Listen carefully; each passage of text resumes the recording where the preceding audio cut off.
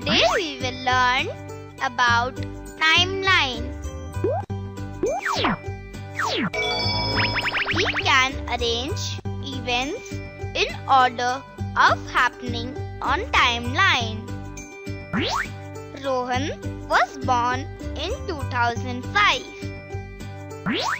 He got admission in school in 2010.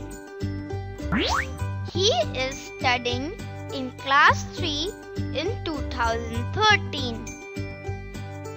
Let's mark Rohan's father life events on timeline. Rohan's father is of 40 years. He went to school at age of 5 years.